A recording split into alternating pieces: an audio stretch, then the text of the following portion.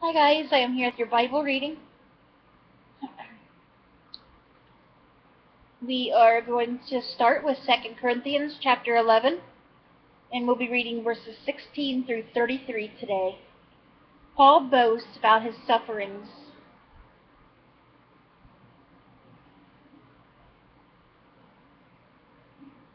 And what you'll see and hear a little bit of is, you know, what they had to, the disciples and the ones who love Jesus and want to tell about Jesus, a little bit of what they have to go through back then, and it's starting to be bad. It'll be bad like that here soon enough. You know how bad it's getting already.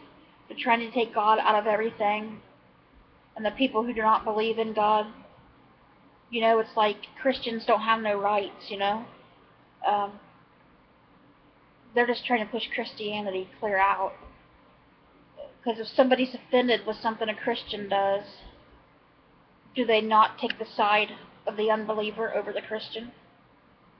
Nine times out of ten, they do. They're just trying to push Christianity aside. We have no rights. It's I could go on and on about that, but you guys who love the Lord know what I'm saying. And you know, just like the Bible said, it's only going to get worse before Jesus comes back. So you need to stay strong in your faith. They can take Jesus out of everything in this world, but you know what?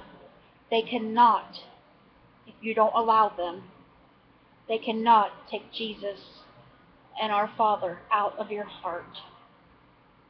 That's something they cannot take away from you unless you let them turn you to their beliefs. Jesus will always be there for you. He will never turn his back on you. You've got to be strong enough to do the same. It don't matter what they do to us here in this world, guys. Because once we leave this world, we know where we're going. We keep Jesus in our hearts. But if you don't, you know what'll happen and where you'll go. And I'd rather die a thousand deaths on this earth than spend an eternity in hell for a minute. Okay, I will stop talking now. And we will get started with 2 Corinthians chapter 11, verses 16 through 33. Paul boasts about his sufferings. I repeat, let no one take me for a fool. But if you do, then tolerate me just as you would a fool, so that I may do a little boasting. In this self-sufficient boasting, I am not talking about the, as the Lord would, but as a fool. Since many are boasting in the way the world does, I too will boast. You gladly put up with me, fools, since you are so wise. In fact, you even put up with anyone who enslaves you, or exploits you, or takes advantage of you, or puts on airs, or slaps you in the face. To my shame, I admit that we are too weak for that. Whatever anyone else dares to boast about, I am speaking as a fool. I also dare to boast about. Are they Hebrews? So am I. Are they Israelites? So am I. Are they Abraham's descendants? So am I. Are they servants of Christ? I am out of my mind to talk like this. I am more. I have worked much harder been in prison more frequently, been flogged more severely, and been exposed to death again and again. Five times I received from the Jews the forty lashes minus one.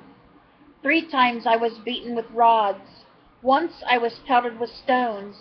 Three times I was shipwrecked. I spent a night and a day in the open sea. I have been constantly on the move. I have been in danger from rivers, in danger from bandits, in danger from my fellow Jews, in danger from Gentiles, in danger in the city, in danger in the country, in danger at sea, and in danger from false believers. I have labored and toiled, and have often gone without sleep. I have known hunger and thirst, and have often gone without food. I have been cold and naked. Besides everything else, I face daily the pressure of my concern for all the churches, who is weak, and I do not feel weak, who is led to sin, and do not inwardly burn. If I must boast, I will boast of the things that show my weaknesses. The God and Father of the Lord Jesus, who is to be praised forever, knows that I am not lying. In Damascus, the governor under King Aretas had the city of the Damascenes guarded in order to arrest me, but I was lowered in a basket from a window in the wall and slipped through his hands. and you remember that probably from the earlier Bible reading that we talked about when Paul, Paul, when Paul was being lowered down in the basket to escape. Okay, guys, that's where we're stopping with Second Corinthians today. Now we'll go into Psalm 54. For the director of music with stringed instruments, a maskil of David, when the Ziphites had gone to Saul and said, is not David hiding among us? So Psalm 54. Save me, O God, by your name. Vindicate me by your might.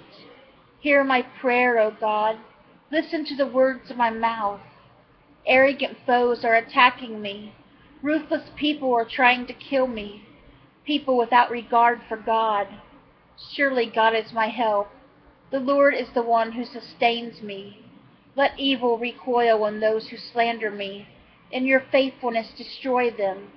I will sacrifice a freewill offering to you. I will praise your name, Lord, for it is good. You have delivered me from all my troubles, and my eyes have looked in triumph on my foes. And that was Psalm 54. And to end the Bible reading today, we're going to read Proverbs 23. We finished up Proverbs chapter 22 yesterday. Excuse me. And then we'll be reading verses 1 through 3 today, which is saying 7, so it'll be read all together. So Proverbs 23, 1 through 3, saying 7 says, When you sit to dine with a ruler, note well what is before you and put a knife to your throat if you are given to gluttony. Do not crave his delicacies, for that food is deceptive.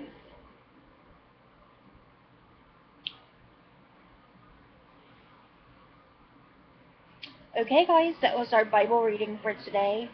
I hope you guys are having a great Thursday. For some reason, I keep thinking today is Friday all day. I'd keep being like, no, it's not Friday, it's Thursday. so hopefully you guys are having a great Thursday.